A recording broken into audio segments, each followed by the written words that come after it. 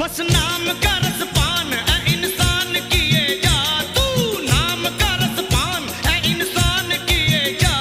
खुश होंगे हो